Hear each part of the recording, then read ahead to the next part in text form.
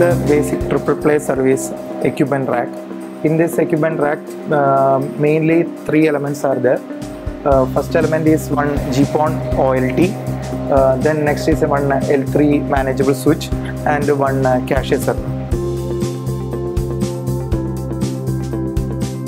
In this GPON OLT, uh, there are eight GPON ports for connecting towards customer end.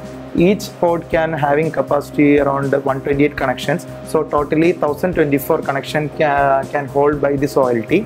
There are six uplink ports. Uh, totally eight uplink ports. In that six uplink ports are 1G uplink ports and two uh, 10G uplink ports are there.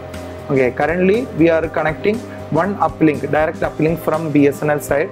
The, in that uplink we are having uh, internet and um, voice, FTTH voice uh, uh, VLANs. Then uh, in this scenario, uh, there is no direct connectivity available from IPTV head-end server to this particular location.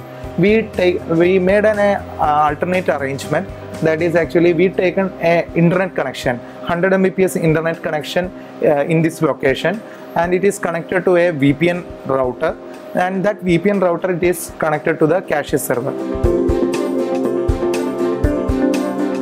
Now uh, we will discuss the typical architecture of FTTH based triple play service for a TIP or an LCO in BSNL Exchange.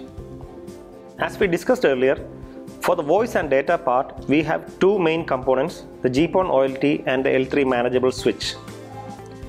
For the third component, that is IPTV, we are introducing the cache server. All these three components will be installed in a single rack or cabinet in the equipment room.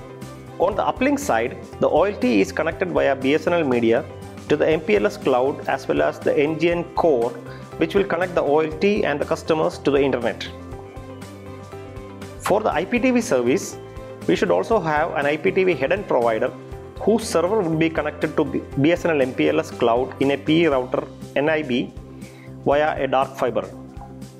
In our case, the IPTV head-end provider is available in Ernakulam and they would be connected to NIB Ernakulam which is the PE router location and the IPTV provider will be installing a cache server also in that particular location. The MPLS team will then provide a VRF or VLAN for the IPTV services and thus all the three VLANs that is data, voice and IPTV are available in the TIP location. The interesting point is once the IPTV provider is provided with their VLAN, the same will be available for access everywhere in P router locations in India. The NIB teams all over India can extend the IPTV VLAN to any TIP serving in their area. Thus the three VLANs are available in the port of the L3 switch. The data and voice VLANs will be switched to the OLT uplink port and the IPTV VLAN will be switched to the cache server by the switch. In most cases, the cache server would have a 1 Gbps port in the uplink side towards the BSNL MPLS and a 10 Gbps port in the downlink side towards the OLT, the reason for which will be explained later on this narration. On the downward or downlink side of OLT, we have the main OFC connected to the downlink PON ports. It will then pass through joins, couplers, splitters, spur route OFC etc. before reaching the ONT in the customer premise which will then be connected to various equipment like Wi-Fi router, IP phone, TV, mobile, etc. In ONT, all the three all the three VLANs will be available as three virtual interfaces, which will be routed to the corresponding IPs by virtue of the routing functionality of the ONT. This completes the downlink side of the exchange equipment of the TIP.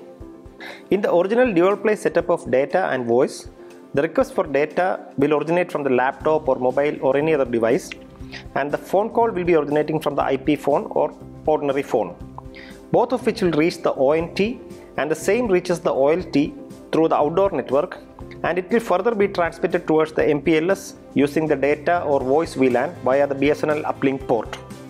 The voice calls will be transmitted towards the respective FTTH landline NGN core. Now we will see the traffic flow of IPTV requests from the customer. We will start from the customer side. Customer will be having a smart TV or a combination of non-smart TV with smart TV box. Smart TV box like Android, Apple, other platforms like Chromecast, Fire Stick, etc. are available. When the TV is switched on, it will request its home channel, say Asianet. Asianet is a popular Malayalam channel in Kerala. The channel request will originate from the TV to the Wi Fi router to the ONT, and the ONT will route the request tagged with IPTV VLAN through the outdoor network to reach the OLT PON port. The OLT will route the IPTV VLAN to the cache server through the 10G port. Thus, the customer side request reaches the cache server. The cache server will request the channel feed from the IPTV headend, which is connected to the BSNL MPLS.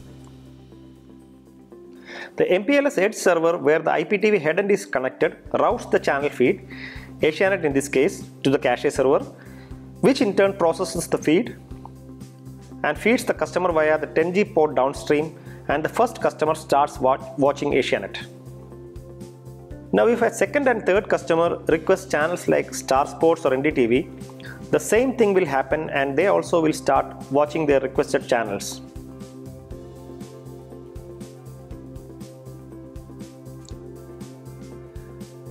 Now in this particular case, we have three channels Asianet, Star Sports and NDTV cached in the cache server.